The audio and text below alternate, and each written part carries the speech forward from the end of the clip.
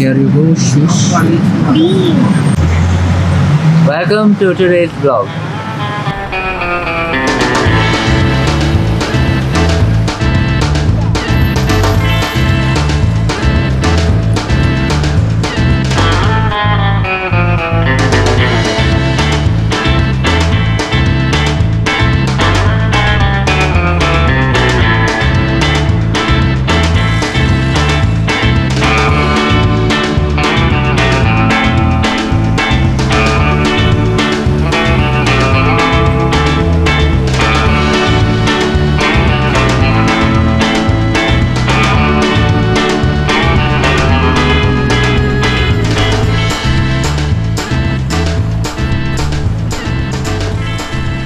Gamarjoba. from Batumi. This is the second biggest city in Georgia after Tbilisi. We've just stepped out. It's around 4:30 in the evening now, and our plan is to explore the city and see what's in store for us.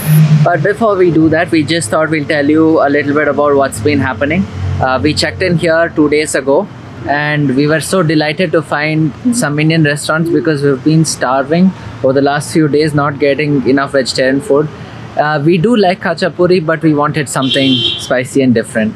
So, So we ate uh, rajma masala, chana masala, lemon rice. and uh, masala dosa Oh yeah. and all of this and then uh, like we've been ordering in so we got it delivered to our room and there's also a supermarket right across the street so we've been getting ice cream so if you see us being a little chubby that's the reason uh, right now as shish said we're out and about exploring batumi and a few things we learned about batumi is that it's called the pearl of the black sea mostly because of how beautiful the architecture is and its unique location here on the southeastern side of the black sea and uh, it's very popular for one more reason and that is gambling and casinos which also earns it the title of the las vegas of the Black Central Sea. Asian. no the las vegas of the east Oh. the las vegas of eurasia the las vegas of the black sea many many names so now we're uh, just taking a walk we don't have any specific plan about what to see in batumi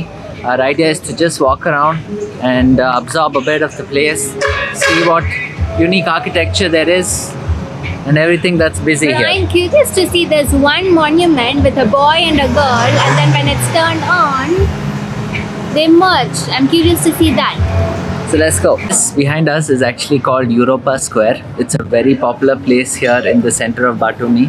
And if we go here this way about 500 meters or so, that's the Black Sea beach, the coastline right there. All the buildings here look very fancy. They're colorful. They have little gardens in the balconies. It looks very different from the rest of the city. So there's definitely a very high uh, European-esque feel here. Uh, unlike the other parts of the, the country where we saw something which was more traditional, more Georgian, this definitely feels like a very busy European uh, square and aptly named so. We see a lot of cafes here, especially KFCs and McDonald's, and a lot of Bolt and Wolt delivery, you know, scooters and park Yeah. right in front of it. and there are these small bakeries and cafes also like holes in the walls so And all getting the balconies have little pots with little green plants and flowery plants in it. Overall this seems to be more of a walking area so even though the cars are parked nobody is actually driving around right now it's uh, quite beautiful What you see behind me is a big chessboard. Like you can actually go and move the pawns to wherever you want. Look at this.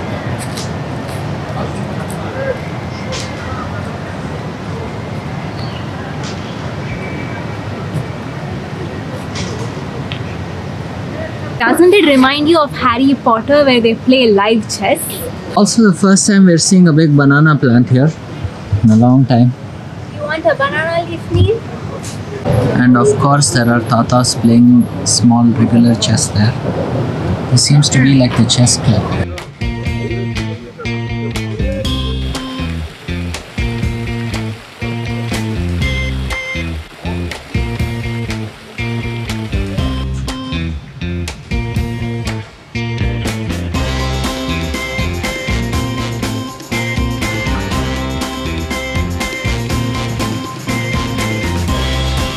It seems like there's a hop on, hop off bus.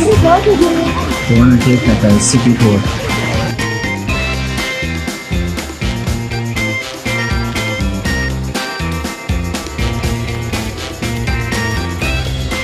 So in in Georgia, everywhere you will find these kind of small fountains, but these are actually drinking water.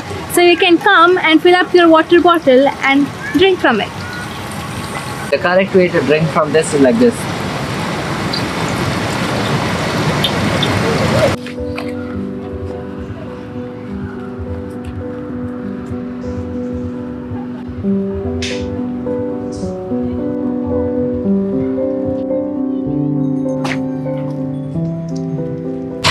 And we're back at the Black Sea. Another ice cream? What's going on, Shish? It's too yummy.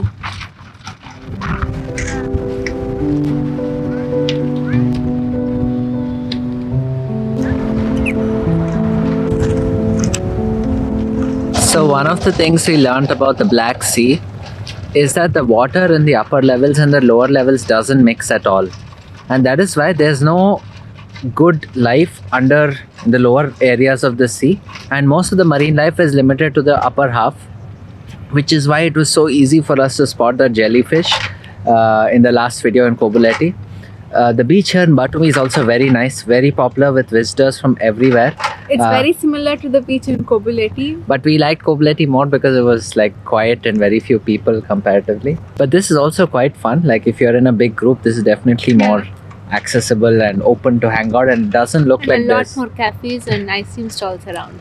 and it doesn't look like there's jellyfish here, right? Yeah. People are enjoying the water a lot.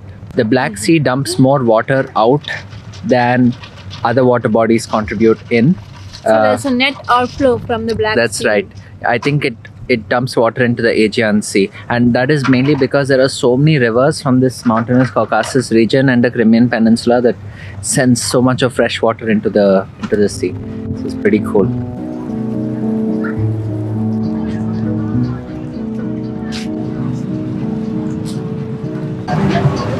Now we are going to see the Ali and Nino statue. So the story behind this is actually quite interesting. Ali was a Muslim boy from Azerbaijan, and uh, Nino was actually a Georgian Christian princess. And uh, they fell in love with each other. And during the Bolshevik Revolution, both of these countries are being taken over and uh, being absorbed into the Russian Empire. And at that time, because of the wars that were ongoing, they could not meet together and come together. So, because of that, their love story ended right there, and they could never be together. And this inspired many stories later on. And in uh, Azerbaijan, it's even till today a very, very popular tale that people tell each other uh, in the celebration of humans coming together. So, then at some point, a Georgian artist actually made this story into a statue, which I think is pretty self explanatory. Take a look at it.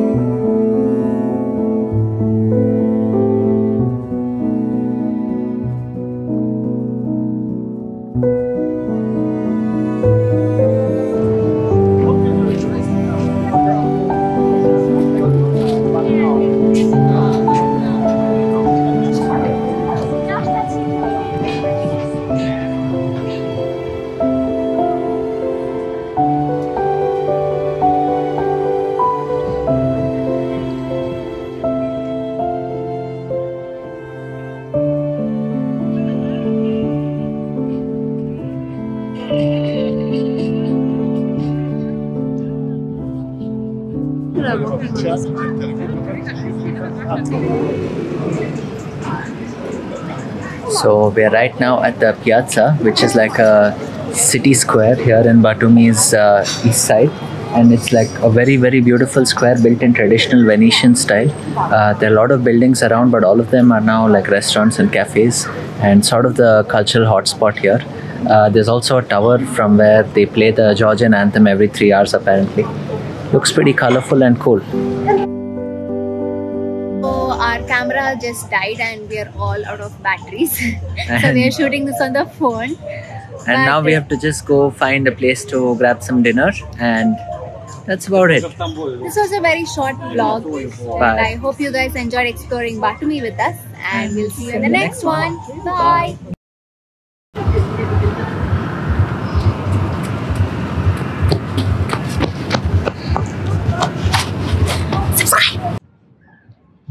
Shoes are too big, aren't they?